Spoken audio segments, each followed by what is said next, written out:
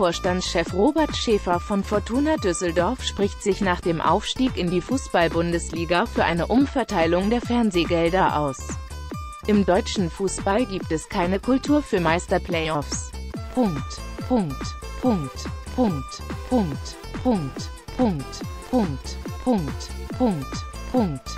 Punkt. Man sollte eher den Verteilerschlüssel der nationalen TV-Gelder überdenken, der die Starken noch stärker macht, sagte der 42-Jährige der Sportbild.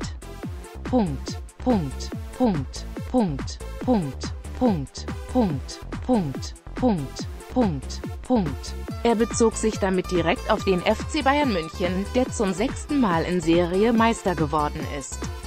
Punkt. Punkt. Punkt. Punkt. Punkt. Punkt. Punkt. Punkt. Punkt. Punkt. Punkt. Punkt. Wenn ein Markt irgendwann nicht mehr funktioniere, weil ein oder mehrere Player zu groß geworden sind, müsse man über Regulierungen nachdenken.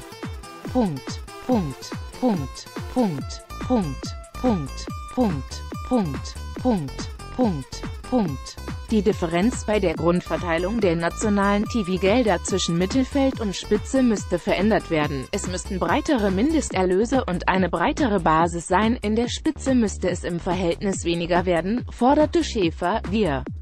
Punkt. Punkt. Punkt. Punkt. Punkt. Punkt. Punkt. Punkt. Punkt. Punkt. Punkt müssen Mittel schaffen, die den Vereinen im Mittelfeld zur Verfügung gestellt werden, die dann mit diesen Geldern viel mehr anfangen können als die Spitze. Fortuna Düsseldorf spielt in der kommenden Saison erstmals seit 2012 13. erstklassig.